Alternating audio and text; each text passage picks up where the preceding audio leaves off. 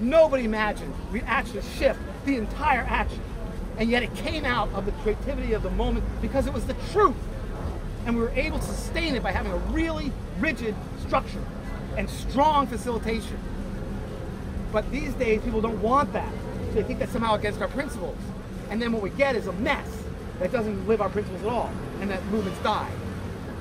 So again, we stopped the direct invasion, definitely, and we certainly expose the truth of what actually happened so that these days many more people than otherwise will know about what really happened back then. Although still far too few people understand the October surprise and the whole arc of the domination and control of Central America and why we have so many illegal immigrants and why immigration is such an issue in this country is because all the people who were being attacked there came here and now they're a problem because they're awake. They're not willing to be oppressed. So they know the alternative. So that's what I see activism is. It involves organizing by small groups, that small groups should be self-sufficient and autonomous, that the way you organize into larger groups is through consensus decision-making spokes councils. The, this book right here, these are the books. This is the book I wrote in 87. When I went to the coordinating council of the Pledge of Resistance, right? And Lisa's there and all these people are sitting around the table. And I say, we're having people join this pledge. We're having people sign the pledge, 100 people at a time, every week. You know, every week we're getting 100 people signing up. We're forming affinity groups as fast as we can, but they're having no way to plug into the process because they don't know consensus. It's a new thing to all these people. They know voting, but we're not using voting. How do they plug in? So I said, well, we should be teaching them consensus. And everybody's looked at me and went, great idea, CT. And you know about volunteer groups, you know that meant. You do it. so me, being totally the optimist and totally the naive activist, I was pretty young at the time, I said, oh great, I'll do it. Because I assumed there would be a book that would say, oh, this is how you do consensus. Start here, go through these steps, and there. You know, there is a book for Robert's Rule called Robert's Rules for how you do voting, which is way more rules than anybody ever wanted to know about how to do voting, right? So I figured there'd be a book like that. Well, much to my disappointment and bummer, there wasn't one. I couldn't find one. So I was going to do a study group where I was going to get the book and study it. So I had to write, and again, I started out thinking it would take me a couple months, maybe, you know, like two months, you know, and I'd be done. And all I was doing was writing down what I learned, I thought. Well, it took a year and a half. It took me all the way to 87. By 87, the pledge had gone by. It was still around a little bit, and it's still around today a little bit, but mostly it had passed. So I wrote the book for that movement, but it wasn't around. And it turned out that I'd done something new. When I gave it out to people, I didn't put my name on the cover. I didn't put Amy's name on the cover. I said I didn't do anything new. It's just what I learned. People read it and said, no, no, CT, you, you changed it. You added some things. I did, turned out. I added two things, or a couple of small things. Uh, I'm not doing a workshop. That's the next book. Then, uh, two year, three years ago, because I discovered I have PTSD, because I mentioned all the beatings, like, I've been arrested over 50 times. Some of you heard that. But I don't think that you put in context I don't get arrested at every protest I go to. So, you know, I've been to 500 protests. Well, I stopped counting, but, know, that's ridiculous too. That's, and, and I've been to like thousands and thousands and thousands of meetings. I'm kind of crazy. That's what I've done with my life. Okay, but because I mean, some of those arrests, I mean, all the arrests are kind of brutal. You know, they don't, they're not known for their gentleness. And depending upon the city, and depending upon the cause, they're more or less brutal. In San Francisco, where they knew me and they hated not bombs, there was thousands of arrests of not bombs activists. And, you know, every time they saw me, because I had an injunction against me personally. Keith and I had a personal injunction. So if I just showed up on the street, they would arrest me. And I got arrested too much there. I have my own videotape. I'll eventually put it on YouTube when I'm, when I'm ready. But I have my own videotape of the San Francisco police torturing me right on the street. And you, it's only 20 minutes long, 20 seconds long. But when you're being tortured, that's a long time. But you actually see the police officer. I'm on the ground. I'm going limp. I'm handcuffed, or they use those plastic cuffs on my back. I'm handcuffed, I'm laying on the ground. And a cop walks over, he puts his knee in the middle of my back and says, get up. Which he knew I wasn't gonna, and he knew I couldn't. And then he proceeds to push in this little soft spot right here behind your ear.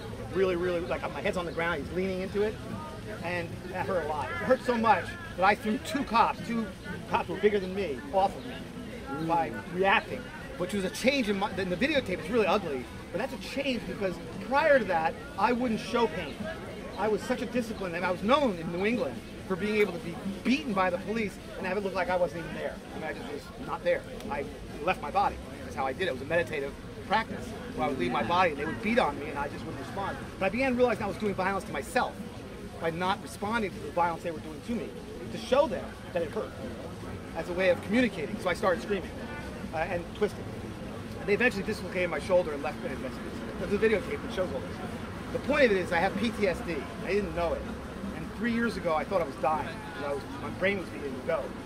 And so my, my friend Jerry, who's kind of wealthy person out on Long Island, he let me live in his house for a year to write this book.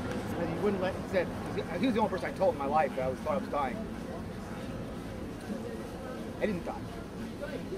yeah, and I'm doing better. i have I've learned how to control it. Medical marijuana, yes. Um, I wrote this book so I wouldn't die without written it. This is how to use this model for affinity group structure and for cities of up to 100,000 people. The idea being, I believe, this model, this book, you could run a city or group of 100,000 people without any politicians, without any professional leaders, without anybody doing it full time who's in charge. That's a group of people using consensus, running their group of up to 100,000. And the reason why I go up to 100,000 is that it, uh, I do maintain still a face-to-face meetings. And of course, they're all small meetings with, with uh, spokes councils. But if you're involved at a level of larger than 100,000, a single organization, you're going to so many meetings, it's becoming a full-time job for you. You can't have a regular life. But everybody else, up to, I mean, so a group up to 100,000 or below, you can run it, I believe, the governance of it, whether it's a city or an organization, by consensus, without leaders, without professional leaders. So you still have you still have the government workers, people who implement the decisions. You still have the coordinating council implementing the decisions. They do a lot more work. They make it paid. But the people making the decisions would be the people. It would actually be a government of the people, by the people, and oh wow, maybe even for the people. So I believe that's actually what this book is. I believe it's that revolutionary. I'm actually encouraged by some people recently that have come into my life um, who are saying that it's not just a better meeting process, it's a better way of relating human to human. And it's called value-based consensus. So um, unless there's any questions about what I've already said so far, I'm happy to take questions right now, or I can spend whatever amount of time I have to go to work over there at 3 o'clock because I managed to get totally broke trying to teach consensus. I do on the table. Yeah, I'm supposed to be selling them, but they're sitting over there, so I'm hoping people are being. I should have a sign out or something. Yeah, that's going to work. Yeah. Um, in in the what's it called? Consensus for cities. Yeah. Conveniently enough. Um, how do you think you know, like right now, like one? I recently heard someone say that like civilization is a collaboration problem or it's always, and we keep creating better and better ways to collaborate. Yes. So, given that we have all of this like different social media technology now, how can that help? Not replace, but right. how can that help? Which is the end? Uh, the social, social, social technology, so that we can be organizing in these new, more peer-to-peer, you know, local right. ways. Well, I have a funny answer for that. We actually call when we teach social technology, including the consensus model itself. I think you're talking about the electronic social technology. Okay, I have a big concern about them, and this is seems to be pretty obvious, and yet we seem to be in denial about this, like everything else. Really, denial is a real problem in this country because we're really good at it. We all love to swim in Egypt. We're all in denial. Um, um, the issue is, is that we know. I mean, people say glibly that um, that communication between humans 80% of what actually is communicated is nonverbal. We say it all the time. People say that no one ever objects. No one, I haven't seen any scientific evidence that says that's not true. I mean, we seem to accept that as sort of conventional wisdom. And yet, in the electronic social media, virtually 100% of that nonverbal communication is cut out.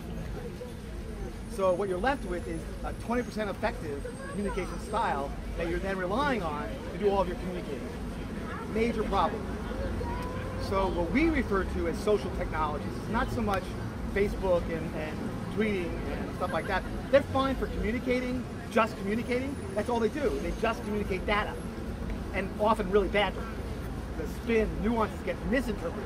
And you know, I don't know. In the early days of email, people had a really hard learning curve about what an email actually was, because all kinds of miscommunications happened early on that, that nowadays aren't there because it's more ubiquitous but still happens. But anyway, um, we call social technologies things like um, learning how to do a check-in, dyad, one-on-one.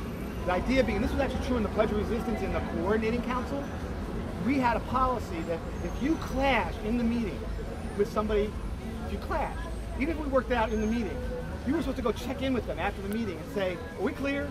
Is there any leftover feelings? Because we were doing such high level work, you know, really intense. We were really, and we were inviting people to break the law, and we were going up against the federal government. We knew we had to be solid, and we couldn't just, you know, have little bickerings get in the way of our solid work. So we had, and the policy was you were expected to check in. If you checked in or if you didn't check in and you checked in and what didn't go well, then the next meeting the group would check. And if it didn't, we would assign a mediator from within the group. We'd say, you have to work it out. We can't have you, either one of you, in this group if you can't work together. We were that highly disciplined. So, uh, so, so being able to do um, NVC, or nonviolent communication technique, as a technique, I support it. As a worldview, I do not. As a technique, it's really good. Learning that technique learning a thing called Heart of Now, which came out of a larger technique called the ZEGG Forum. The ZEGG Forum came out of a intentional community called ZEGG in Germany that is very radical, very political. They do a lot of squats, and they developed this technique of sort of going deep with people on a personal, individual level, not just a political level. So what they learned in these political movements, and what we've learned, is that it's more important to bond, to create webs of connections that happen in face-to-face -face connections in real experiences that are non-linear. Non-linear is an important aspect, so much so that there's a man, I don't know, has anybody here heard of sociocracy or dynamic governance? Anybody here? It's Okay. So there's a version of group organization. It's very cooperative, but it's still hierarchical, and it's friendly towards consensus decision making. It came out of Holland, and it's working, and businesses are using it in Europe, and it's very good. I mean, it's more positive in the sense that it's more collaborative. And a lot of groups are that try consensus and fail because they don't take it very seriously, in my opinion. They don't make it value-based. They are moving to sociocracy. The guy in North America who teaches it, his name is John Buck. I'm a good friend of his. He and I work together now. And we talk regularly. And where was I going with this? Okay. Right. Heart of Now. Oh, the Heart of Now, right. Is that, um, that, um, people working in dyads, people right. working that, that he and I got together because we both we're, we're both excellent facilitators. We're both top of our game. Right? We're both national figures teaching this, this governance. And we got together and we were having these social salons. He and I would get together for breakfast once a week when we lived near each other. And um, we both realized that we, in all of our skill and all of our knowledge, regularly have groups of 20 or more get to stuck places as they're trying to make a decision. They're getting these stuck places, and there's nothing we can do about it. And we were frustrated by that because we realized it wasn't facilitation, it wasn't more facilitation, it wasn't better facilitation that was going to change that. And we also saw that it wasn't necessarily even the group doing anything wrong. It was sort of like what happens to individual people and groups when they get into this deep material, trying to make an important decision. So we backed off and started looking at a larger picture of what's going on. We started studying how the brain works and we got way into where creativity comes from. But we'll go into all that. It's very fascinating. John thinks that we've stumbled upon something around creativity that's as exciting as the theory of relativity was for physics and Einstein. If it's true, it's going to knock people's socks off. But we're still working it. We haven't perfected it yet. But as we were experimenting with the reason why I'm telling you this is, so we're working on this, we're studying the brain. The, the thing is, I've come up with this theory of how the brain works, and John, who's a scientist, and he's from corporate America, and he got into sociocracy because he saw that the way that voting in corporate America was dysfunctional. They wanted a better way to have meetings for businesses. He's, you know, an American, he's a little bit older than I am, but he's not trying necessarily to be a revolutionary. He just recognizes that things have to change. So um, we were looking at this, we were studying, and we decided to take a group of people and have a meeting, start a meeting, and when we just randomly, because we didn't, we couldn't predict it'd be a stuck place. Like we can't, we can't program. That's the point. If we could, then we could drill them. We can't.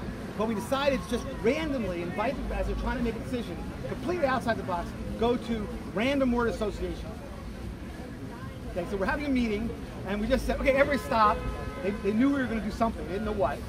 We had them do five minutes of a brain, uh, of, you know, brainstorm or a shout out, where people just said, this is just somebody shouts out a word, and then If you if you resonate with that word, you can say whatever word resonates, you anything you want. And we had people do that, single words or phrases, for about maybe not even three minutes. And then as, as abruptly as we started it, we ended it, and then we started the meeting up again. And the next thing that happened, really quick after that, was that somebody had an emotive experience.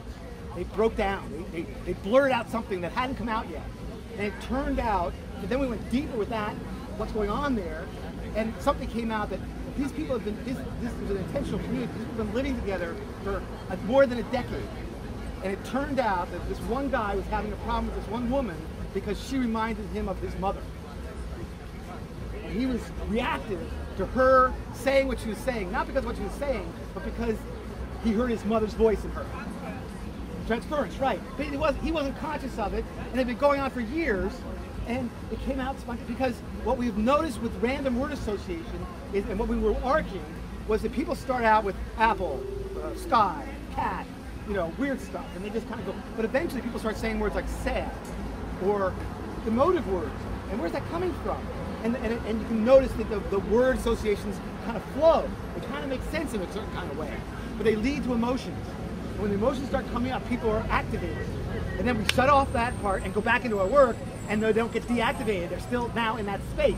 So that stuff comes out, and we get to what's really going on. Now that's social technology. See what I'm saying? That's learning how to work with each other. So what you're saying is like the digital is like we should keep the digital just for like the basic organizing information, helping with schedules, Right. when can people volunteer, like sort of like logistical administration. Well, not But just. keep the important stuff for face to face and and encourage more Right, but, but I'm, I'm very holistic. So I would say just like the, the, the, the fact that we all use mobility aids, I'm pretty certain in this circle, we all use mobility aids. Some of us have two legs and we use cars to go long distances. We're not going to walk, we could. And some of us don't have use of our legs and use wheelchairs just do the average getting from here to point from here to over there.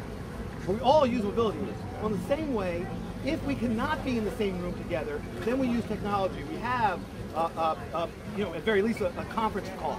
Maybe we have Skype, where some people can see. Maybe we have an avatar and a 3D projector, and you're actually sitting there, right? All those are better. Better than not doing it at all. So I'm not, I'm not saying it's bad. I'm just saying that I don't know of any technological, electronic alternative to being face to face. Because there's things that are communicated face to face that are even like ol- olfactory. And you know, the cosmic energy of the, all of us sitting here together interacting this web of eye contact. That, that's why we sit in circles, by the way. The main reason why we sit, sit in circles is because as human beings, with sight, and the amount of use sight, we're communicating with each other non-verbally in the circle, hey Michael, constantly sending signals to each other about what's going on in the circle, who's, who's to be listened to, who's not to be listened to, especially in a meeting. So all that's lost if you're on on a computer and the computer doesn't show you what's going on in the room, whereas we can just turn our head and see everybody's eye. And we, and we deal with inclusion a lot within these different movements within activism, but then we don't talk about actually including people that have different modes of perception. Yeah. There are plenty of people who via verbal language very well. And they will prefer to communicate via some sort of kinesthetic or body or nonverbal or even even like you said, olfactory, it could be anything that people use. Or they'll try to communicate in a way that is not comfortable for the other people, but it's the way they communicate. That's, that, and that can be managed though. That's not automatic. And there are ways that can be uh, facilitated so that it works for the whole group. But that requires strong facilitation and a recognition that process is not the same thing as content. And what the facilitator is doing is not trying to control you, but trying to help you. Because if you communicate in a way that threatens other people in the room, they're going to stop listening. They're not going to hear what you have to say. And it's not your fault. That's just the way it is. So to help, if a facilitator recognizes that and facilitates so they can actually help you express what you really want to say, isn't that better for everybody? So you, you gotta let them, and, know what they're doing, you gotta let them do it. And this idea, no, I can't stop after two minutes because I can talk as long as I want. No, that doesn't work when there's, you know, we have 20 minutes to have a speak, uh, talk about something, and there's 10 of us sitting here. We each get two minutes. That's the way it works. Otherwise, all voices aren't being heard. So anyway, other questions or anything else?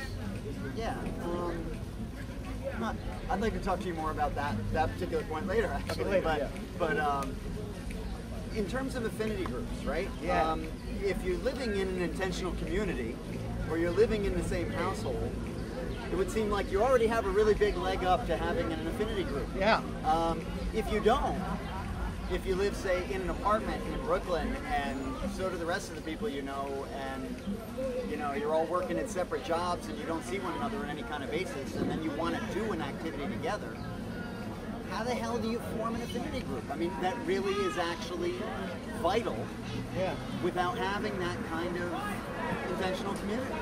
Well, first I would say start the intentional community. That's, that- that's where I'm at now. That's actually the way to do it. Because because what Ren and I are talking about doing is forming a, a base, uh, an institute, a residential community, and bringing people in whom we can detox, so they can learn what we're teaching. Because what we're realizing is we've all been poisoned. We've all been polluted. All of us, including Ren. I mean, when we're in the overculture, we're not functioning at our best in this way we want. And so if we're really going to teach this, we have to bring people in and actually have them go through a week of detox before they can actually be to absorb what we're teaching them. It's that toxic, we believe. Okay, we've gotten that, that's where we're at. But recognizing again that that's not going to happen for everybody, um, this is the vision I hold. Again, affinity groups are, are amoebas. We used to play this game when I was, uh, when I was a raging hippie.